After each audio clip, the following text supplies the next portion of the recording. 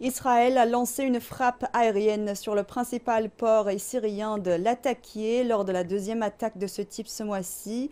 L'agence de presse d'État syrienne Sana a déclaré que la frappe aérienne de mardi visait des conteneurs chargés d'huile et de pièces de rechange pour machines et voitures. Israël tire fréquemment des missiles sur la Syrie sous prétexte de viser des milices dites soutenues par l'Iran, y compris celles liées au groupe libanais Hezbollah. Le ministère libanais des Affaires étrangères a condamné l'attaque.